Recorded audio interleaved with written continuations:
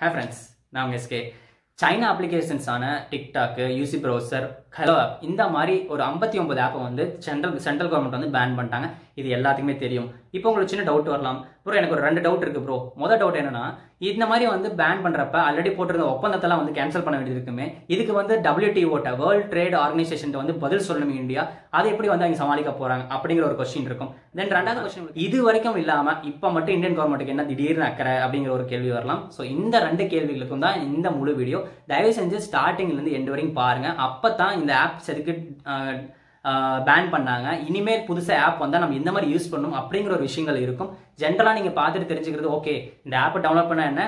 நான் அன்இன்ஸ்டால் பண்ண என்ன? எனக்கு என்ன வந்துட போகுது? அப்படின்னு நினைக்கக்கூடிய ஒரு சாதாரண மனுஷனாக இருந்தால் இனிமேல் நீங்கள் அப்படி இருக்க மாட்டீங்க. ஸோ முழுசாக தெரிஞ்சுக்கலாம். வாங்க.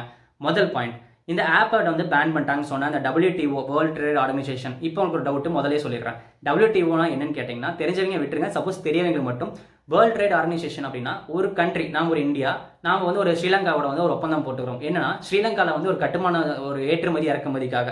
ஒரு ரயில்வே ட்ராக் போட்டுத்தான்னு வச்சுங்களேன் நாம் வந்து ஒரு ஒப்பந்தம் போட்டுக்குவோம். ஒரு பாண்டிங் போட்டுக்குவோம். இந்த மாதிரி இந்தியா அப்படிங்கிற நான் வந்து ஸ்ரீலங்காவில் போய் வந்து ஒரு ஒப்பந்தம் போட்டுக்க போகிறேன் எங்களுக்கு வந்து ரெண்டு வருஷம் இந்த பாண்டிங் போக போகுது. அவன் இவ்வளோ காசு கொடுக்க போகிறான் நான் இத்தனை ஆளுங்க வந்து சப்ளை பண்ண போகிறேன் நடுவில் வந்து நான் எதுவுமே பிரேக் பண்ண மாட்டேன். அப்படி பிரேக் பண்ணிட்டா நான் வந்து இந்த கான்சிக்வன்ஸ்லாம் நான் வந்து ஃபேஸ் பண்ண தயாராக இருக்கேன் அப்படின்னு சொல்லி டபிள்யூடிஓங்கிறவங்க வந்து ஒரு பிரிட்ஜ் மாதிரி வந்திருப்பாங்க. நம்ம ரெண்டு பேருக்கு சமாதானமாக போயிட்டு இருப்பாங்களா? ஸோ அந்த மாதிரி.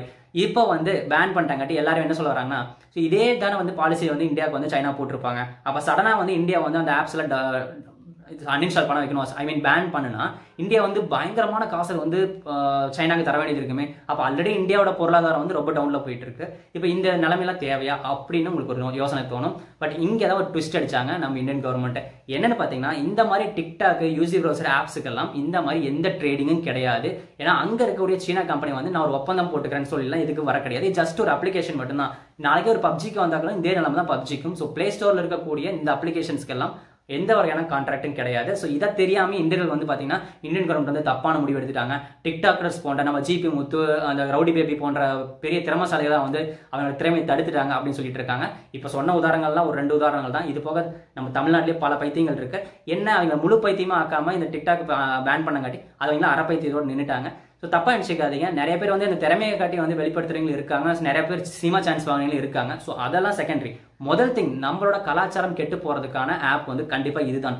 ஏன்னா ஒரு பத்து சதவீதம் தான். இப்போ நான் சொன்ன அந்த சினிமா வாய்ப்பு தேடி போனவங்க இல்லை சினிமா வாய்ப்பு கிடைச்சி உள்ள இருக்கிறவங்க ஒரு அசிஸ்டன்ட் டேரக்டர் டேரக்டர் எல்லாருமே பார்த்தீங்கன்னா ஒரு பத்து சதவீதத்துக்குள்ள இருக்காங்க. மீதி இருக்கிற அந்த தொண்ணூறு சதவீதம் அவங்களோட ஆடைகளை வந்து அரைகுறையை வச்சுக்கிட்டு பொண்ணாக இருந்தால் பையனை வந்து எப்படி வந்து வீல வைக்கிறது? நிறைய பேர் லைஸ் வாங்குறதுன்னு நினைக்கிறாங்க. பையனாக இருந்தால் பொண்ணுகிட்ட வந்து ரொம்ப அட்ராக்டிவாக இருக்குன்னு சொல்லிட்டு மேக்கப் போகிறதா இருக்கும் இந்த மாதிரி பண்ணிட்டு இருக்காங்க. ஸோ இது நான் சொல்லி தெரிய வேண்டியதில்லை. டிக்டாக் யூஸ் பண்ணுற மெஜாரிட்டி பீப்புள்ஸ்க்கு வந்து இது ரொம்பவே தெரியும். டிக்டாக்ஸை ரொம்ப லவ் பண்ணுறீங்களே பார்த்தீங்கன்னா இந்த மாதிரி பீப்புள்ஸ் எல்லாம் அவங்களே வெளியில் போன கதை நிறைய இருக்குது சரி இது ஒரு முதல் விஷயம். இந்த வச்சு முடிஞ்சு. ஸோ டபிள்யூடி டபிள்யூடிஓட்ட வந்து இந்தியா வந்து எந்த பதிலும் சொல்ல தேவையில்லை. இன் சீனா வந்து போய் டபிள்யூடி டபிள்யூடிஓவில் நின்னா கூடவே அவங்க மூக்கு தான் உடையும். ஆல்ரெடி மூக்கு உடைஞ்சவங்க சப்ப மூக்கன்னே பேர் வச்சிருக்கோம். ஸோ இது வந்து இந்தியா கவர்மெண்ட்டுக்கு எந்த வகையிலும் பாதிப்பு இருக்க போகிறது கிடையாது. ரெண்டாவது விஷயம் பார்த்தீங்கன்னா இந்த ஆப்ஸ் இருக்குது பார்த்தீங்களா? சைனா வந்து கிளைம் பண்ணுறான் அந்த கம்பெனிக்காரன் வந்து செய்தி வெளியிட்டிருக்கான்.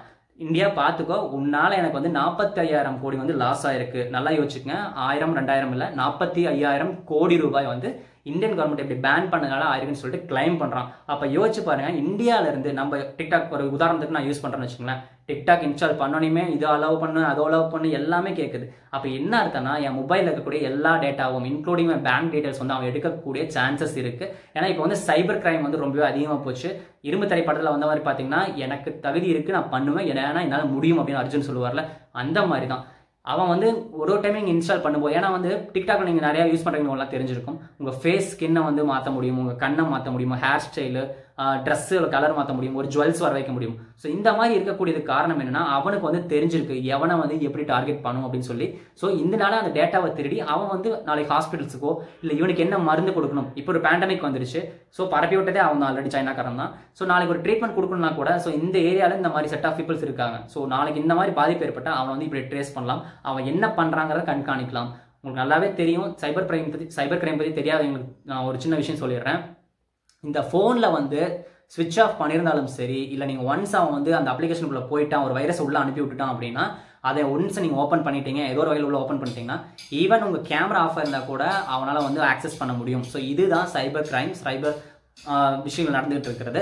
ஸோ இந்த ரெண்டு விஷயங்களும் வந்து சைனா வந்து மும்முரமாக போயிட்டு இருந்தான். இந்தியாவில் வந்து ஏன்னா அவனுக்கு ரெண்டாவதாக ப்ரெஷர் கொடுக்கக்கூடிய அமெரிக்காவை தாண்டி அவனுக்கு வந்து ப்ரெஷர் கொடுக்கக்கூடிய ஒரு கண்ட்ரி பார்த்தீங்கன்னா நம்ம இந்தியா மட்டும்தான். பார்டராக இருக்கட்டும் இல்லை பொருளாதாரமாக இருக்கட்டும் எல்லாமே டெக்னாலஜி வைஸ் எல்லாமே நம்ம தான் ப்ராப்ளம் கொடுத்துட்டு இருக்கோம்.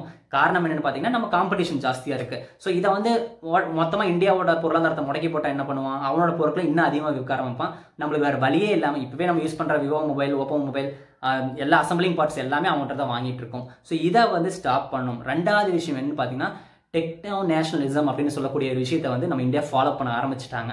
என்ன ப்ரோ டெக்னோ நேஷனலிசம் இதுவே எனக்கு இப்போ தான் புரிஞ்சுது என்னடா அப்படின்னு.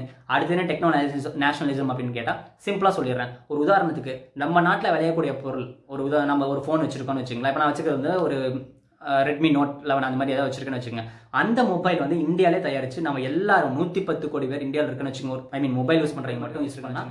அவனோட நம்மளோட பொருளாதாரம் நமக்கே ஃபர்ஸ்ட் இதாக டெவலப் ஆகும்.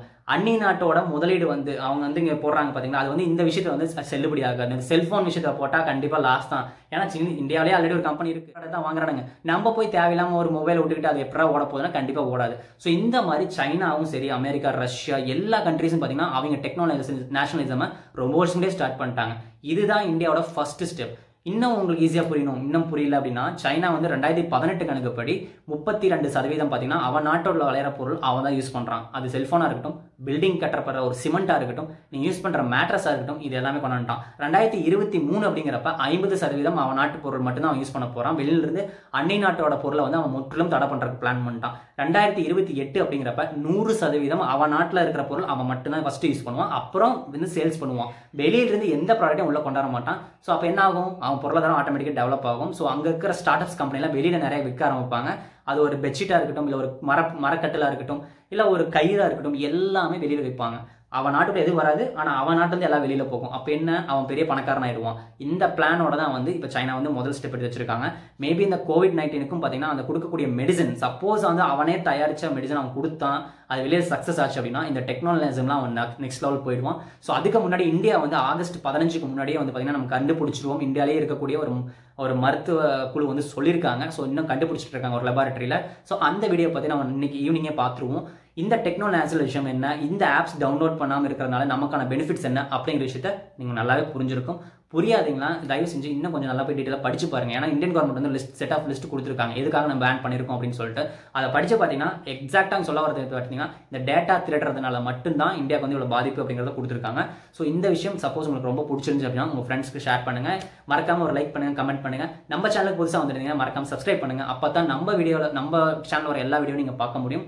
So Take care. Until then, bye. See you. Cheers.